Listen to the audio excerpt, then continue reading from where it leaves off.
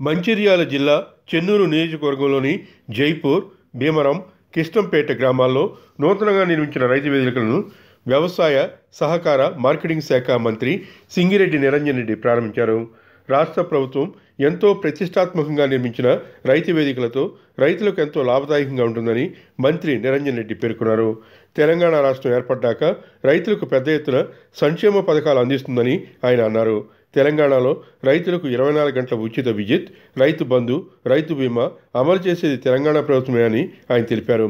ఈ కార్యక్రమంలో ప్రభుత్వ whip Chennur MLA Balka Suman Peddapalli parliament సభ్యులు వెంకటేష్ నేత MLC Puranam Satish ZP chairperson Nallala Bhagyalakshmi తదితరులు పాల్గొన్నారు.